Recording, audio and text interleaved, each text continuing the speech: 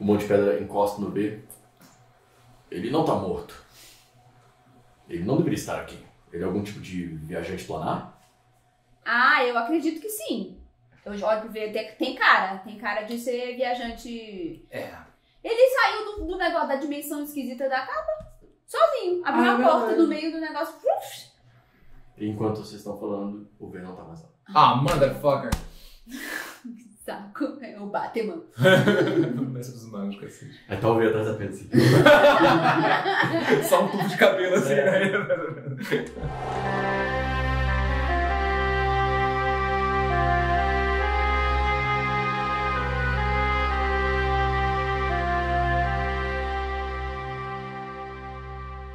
E vocês vão seguir o que ele falou? Ir no Palácio da Labela?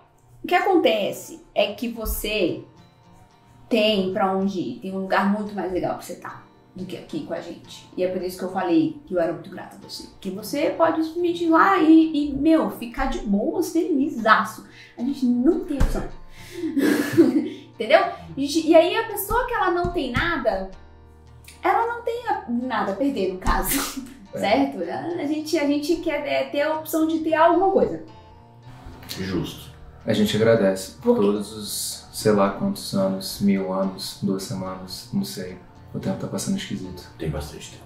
Mas eu agradeço muito o tanto que você ajudou a gente, mas eu entendo que. Seria, né? Porque não precisava estar aqui com a gente. Você tá aí, aí Não, é da mas a gente Mas eu vou com vocês até o fim. Yeah! É sério? Claro. O que, que é o pior que pode acontecer? Eu morrer e voltar pro meu paraíso. Eu acho que ele tá certíssimo, eu inclusive falar isso. Que você tá se despedindo dele, pelo amor de Deus, ajuda nós. Vamos com a gente, porque você também não tem nada a perder, entende? Então vamos. Vamos! Última jornada! Seus marujos entram em posição de batalha, todo mundo já com os equipamentos tudo pronto e tal. E começam a entrar dentro da, da alcova. No que vocês chegam dentro da alcova, vocês reparam que tinham vários canhões preparados. Só que estavam escondidos. Eles puxam tipo uma manta Ixi. assim, e aí os canhões, tipo, na mesma hora o pessoal começa e começa a voar os tiros assim. Cara, a Gary, velho, ela já sabia dessa treta, sacou? É- Ela, você sempre foi o, o- a emoção, Uhum. ela sempre foi a razão. Sim. Então, tipo assim, ela já entrou na Rum num ângulo defensivo. Então, tipo, ela entrou na alcova do Rum, puxou o navio pra uma lateral assim, que bateu na parede, tipo, bateu aqui, começou, caiu umas estalagmites na, em cima do, do casco, sacou? os barulhos tiveram que se segurar, só que os tiros de canhões pegaram todos de raspão na outra lateral. Então, tipo assim, bateu na parede, os tiros, blá, blá, blá, e nada pegou pra destruir a madeira, sacou? Mas deu aquela sacudida do navio. E aí agora vocês têm uma janela incrível, porque todos os canhões atiraram, vocês estão abertos pra poder navegar dentro da alcova e fazer o que vocês querem. Gary Rainho ressinadinho, vamos eu vou seguir. A Gary puxa, tipo, vai em direção a um, a um dos cais assim, e tipo, bate no cais de uma maneira que não estraga o, o Sombra da Lua, mas meio que derruba a galera assim. Aí o teu grupo furtivo já pulou pra um lado, e nisso ela foi meio que tipo, comendo o cais, fechando o galeão sombrio assim, e indo na direção onde vocês conseguiriam bater no galeão e entrar no galeão. Então, o que você acha? Simbora. É, 19 é minha. Então, a sua tripulação age antes, depois você e depois os, os, os inimigos. Tá. tá? Então, a sua tripulação, na, na hora que, o- que o Sombra da Lua bate no galeão, a galera já pula, e tipo assim, o galeão é bem mais alto que o Sombra da Lua, né? Então a galera pula, já jogando o gancho pra subir no, no, no galeão, né? Pá, joga o gancho assim, já começa a enrolar no braço e tipo, puxar e subir as cordas. E a Gary tá tipo, tentando segurar o máximo pra conseguir jogar o máximo possível de tripulação pra dentro, pra tentar fazer uma outra volta e ver o que, que, é- que ela consegue trabalhar. Beleza, eu vou. Ação de movimento, né? Vou amarrar é, o rabo de zebra no mastro do. dos- do não, não, não. Do galeão sombrio. E vou chegar, véi. Vai amarrar assim na, na minha cintura. Já vou puxar o e começar a meter, meter-lhe flechada. E no meu ombro, do meu ombro, assim, sai um, um corvinho, assim. É, que é o meu familiar. Eu usei. Convocar familiar é um ritual, né? Então ele já estava pronto antes de ir. É, e aí, no meu primeiro ataque contra o primeiro inimigo, eu vou ter vantagem, porque o familiar ele toma ação de ajudar. Uhum. Então ele dá. Você já tá. Entendeu? Você já tá acompanhando aqui o raciocínio. e vai ser com o famoso sharpshooter. Ok, 10 mais 4, 14. Não foi tão bom. Hum, é só isso? Você Que é não menos arquétipo- cinco? Você não tem estilo de batalha arquearia, tem mais dois. Eu tenho! Arco. Nossa, eu sou muito burra. Teu Vamos arco é lá. mágico. O não arco não eu é arco mágico. mágico, O arco tá. não é mágico, então sim, nossa, tá errado aqui. A braçadeira do arqueiro dá dano, né? Braçadeira de- do arqueiro. Eu tenho braçadeira. Tem, ué. Ah não, você devolveu pro Jonas? Não, nunca devolvi pro Jonas, então eu tenho mais. Tá devendo, tá devendo item pro Jonas aí. Efetivamente, você transporta pra, pra Nilgin, sai de lá, vai pra um vilarejo mais, é, mais no, no meio do campo, fora do, do grande centro urbano. E aí você chega nesse vilarejo tem uma catedral bem bonita, organizada lá, com várias, é, várias casas ao redor. É possível que essas, essa- esse vilarejo se torne uma cidade pequena em breve, eventualmente até mesmo uma cidade grande. É, mas por hora é só uma catedralzinha pequenininha. E entrando na cidade, sem muita dificuldade, porque é um vilarejo bem pequeno, você se infiltra e chega num determinado momento onde você entra na catedral. Tá lá a Nina, sozinha. Vocês já estão num ambiente é, recluso, só vocês dois. Ela tá rezando no altar. Vou andar calmamente e sentar do lado dela. Perto, assim. Tipo, dois palmos de distância, né? Aí você chega e ela tá concentrada. Você passa na frente dela assim, ela tá tipo rezando. Aí você senta ao lado dela. É, e ela continua rezando. Eventualmente ela encerra assim e olha pra você. Seja bem-vindo, vá na que te proteja. Você sabia que eu tava vindo aqui, Nina? Oi? Não. Quem é você? Algum servo de Vanatória? Eu não tive tanta sorte. Quando eu conversei com outro de nós e eu sinceramente tô cansado. Eu não quero brigar. Você diz outro de nós, mas eu não te conheço.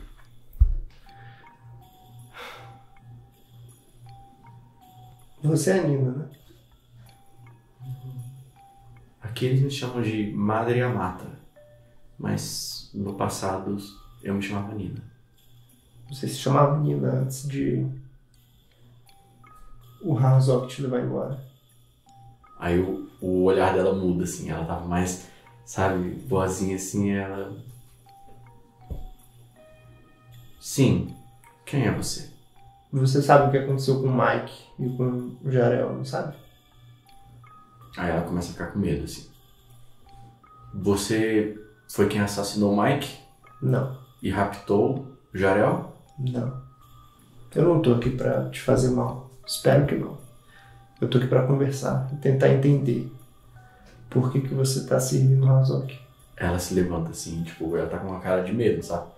Eu não. Eu, eu só quero o bem desse povo, eu estou aqui cuidando deles. Nina, por favor. Senta. Eu não tô armado aqui. Eu só tô aqui pra conversar porque o que o Harzok tá fazendo não é certo. E quem é você para dizer isso? O Razok tem uma visão de mundo, um mundo justo, um mundo livre, livre das amarras dos mecanos. Você não percebe? Todo lugar que nós olhamos, nós não estamos livres, nós estamos vivendo os objetivos dos mecanos. E você acha que quando você ascendeu ao lugar de Vanatori e cedeu seu poder a Harzok, ele vai ser um deus benevolente que vai trazer a liberdade?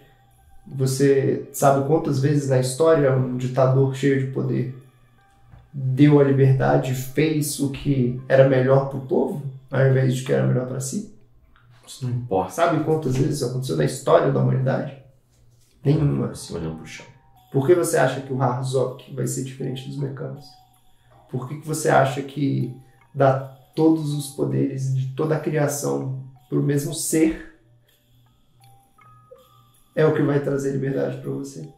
Você não vê que isso só vai fazer a sua vida, a vida de todo mundo e tudo ser controlado de acordo com a vontade de um Deus louco? Você não entende. Ele é o único que tem condições de, de mudar essas, essas mecânicas todas. Ele é o único que tem condições de dar liberdade ao povo. E sim, eu acredito nele. Nina, talvez ele seja o único que tenha capacidade de fazer isso.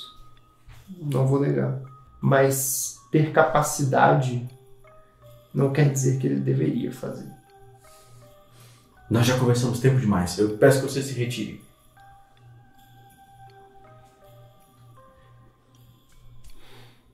Nina, você sabe o que aconteceu com.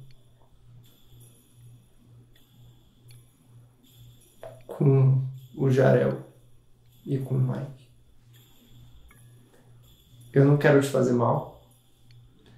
E eu não quero brigar. Eu tô cansado. Mas. Eu não vou sair daqui sem você. Aí ela começa a ficar, tipo, desconfortável assim. Aí ela olha pra trás e faz menção de que vai fugir. Ela começa. Vira de costas e começa a correr carregando o vestido dela, assim. Zero chance de correr. É, pois é, assim. Foi mal aí, mas Ladinão level 13 que não vai deixar, né?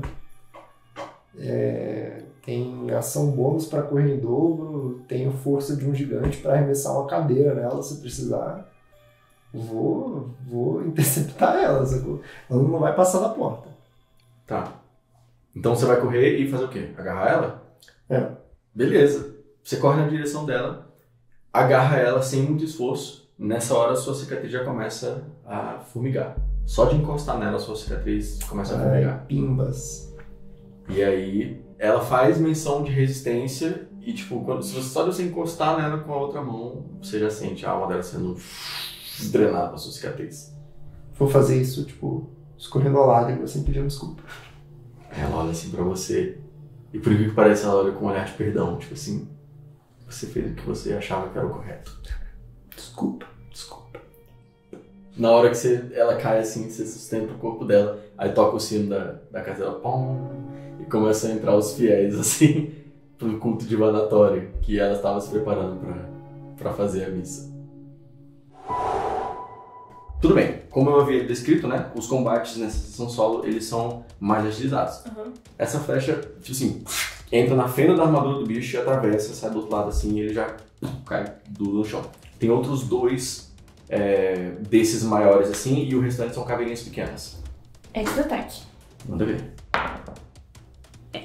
9 Mais? mais 6, 15. Acerta também. Acerta também. Então, beleza. 2 mais 14, 16. 16 de dano. Tá, esse, a flecha pegou nele, tipo, no, no peitoral dele assim, ele pá, bateu pra trás, mas não caiu morto. Um dos, o, o, o que tá saudável, ele olha pra cima tentando imaginar onde é que você tá, não vê nada, e aí ele pega a espada dele e bate na, numa das cordas dos seus marujos. E aí ele corta uma das cordas e você escuta um, um grito de uma das suas marujos, assim, "Ah!" entrando na água. assim. Mas estão acostumados com isso, né? E o outro que tá machucado, você vê ele subindo as escadas pra ver se ele pega ângulo pra você. Nisso, a sua tripulação quase que inteira consegue pular. É é uma cena muito bonita de onde você tá olhando. Você vê as cordinhas fazendo. seguindo o sombra da lua na lateral do, do galeão. Né? A galera vai subindo também em escadinhas, sabe? O cara conseguiu cortar uma do meio, mas a galera já subiu no restante assim também. E a galera começa a subir, cuidar dos esqueletos. E aí chega o seu turno. Quando eu tô escondida, eu tenho vantagem? Sim. Cara dele. Desculpa. 11 mais 6, 17. Cara, o bicho toma uma flechada, pff, já cai do navio assim, morto. É, é para aquele negócio, né, de tipo, ele tá meio que procurando assim, ó. Surge de cima do mastro. Pau! Surprise, motherfucker! Exato. Então eu vou usar, é, o meu familiar vai usar a ação de help, de ajudar. E vamos bater mais uma vez com vantagem. Uhum.